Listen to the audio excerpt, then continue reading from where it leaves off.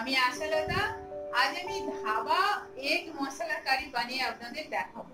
আর এই ধাবা এগ মশলা কারি বানাতে কি কি উপকরণ লাগছে, চলুন আমরা একবার দেখি। ধাবা স্টাইল এগ কারি বানানোর জন্য আমার যে উপকরণগুলো লাগবে, আমি এখানে চারটে ডিম সিদ্ধ করে নিয়েছি। আর একটা টমেটো কুচি নিয়েছি, একটা বড় সাইজের পেঁয়াজও কুচি নিয়েছি, আদা, রসুন বাটা লাগবে টু স্পুন এটা কসুরি মেথি পাউডার লাগবে ওয়ান টেবিল স্পুন ধনে পাতা লাগবে টু টেবিল স্পুন আর এটা বেসন লাগবে আমার ওয়ান টেবিল স্পুন আর ফোড়নের জন্য লাগবে দুটো শুকনো লঙ্কা আর ওয়ান স্পুন জিরা।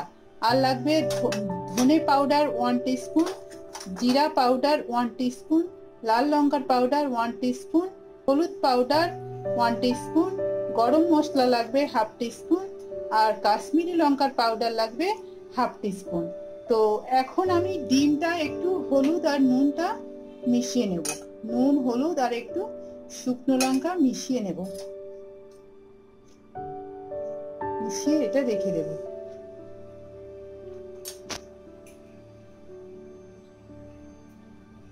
তারপরে এটা আমি ভাজবো।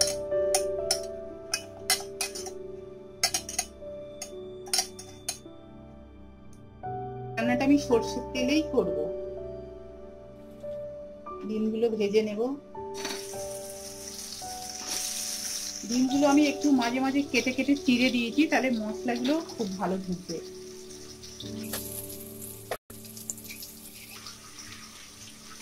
একটু হালকা করে ভেজে নেব। ডিমগুলো হালকা ভেজে নিয়েছি। বেশি লাল করে ভাজার দরকার নেই, হালকাই ভেজে নিলে ভালো।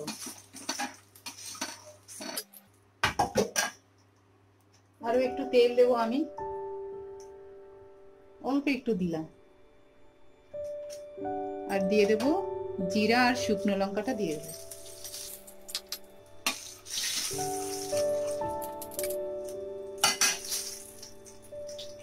দিয়ে দেবো পেঁয়াজটা দিয়ে দেবো। পেঁয়াজটা একটু ভালো করে ভাজতে হবে।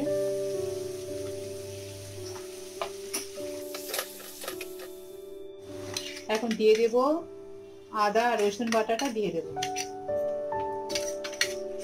এই সময় সব শুকনো মশলাও আমি দিয়ে দেব। শুকনো লঙ্কার পাউডার হলুদ পাউডার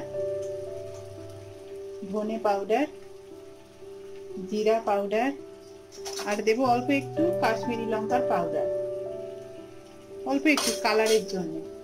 আর দিয়ে দেবো অল্প একটু জল দেবো, দিয়ে এটা ভালো করে কষিয়ে নেব।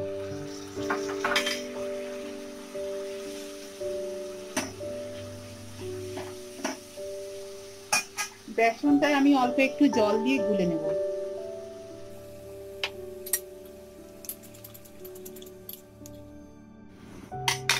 মশলা থেকে তেল ছেড়ে দিয়েছে, এবার আমি বেসন গোলাটা দিয়ে দেবো।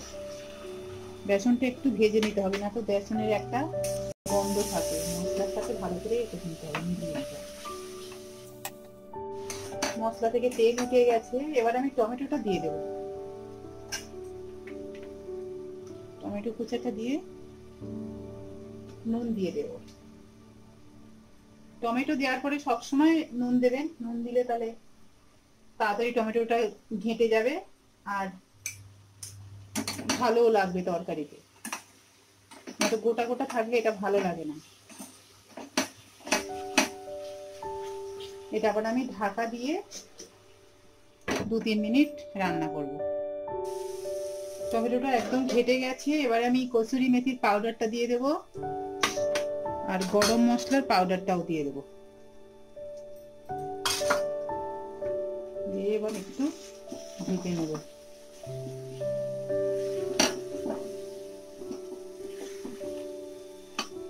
এই সময় দিয়ে দেবো, জলটা দিয়ে দেবো। আরও একটু দেব। এটা ফুটে উঠলেই তারপরে আমি ডিমটা দিয়ে দেবো।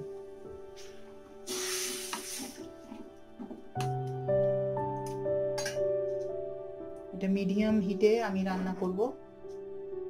এটা ফুটে উঠেছে, এবার আমি ডিমগুলো দিয়ে দেব।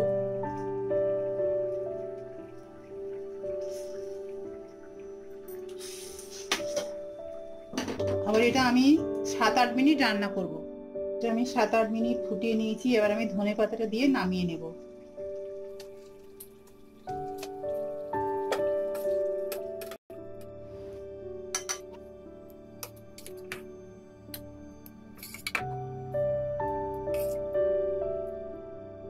আমার এই রেসিপিটা যদি আপনাদের ভালো লাগে, তাহলে লাইক করবেন শেয়ার করবেন সাবস্ক্রাইব করবেন, আর আমার বেল আইকনে ক্লিক করবেন, তাহলে নতুন নতুন ভিডিওর সাথে আপনারা আপডেট থাকতে পারবেন